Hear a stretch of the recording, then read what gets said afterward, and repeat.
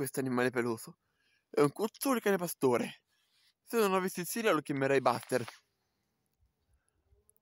È un insolente del lupo e si sa che appartiene all'aspetto Canis familiaris dell'ordine carnivori, del sottoordine caniformi e della famiglia dei canidi, come gli sacalli lupi.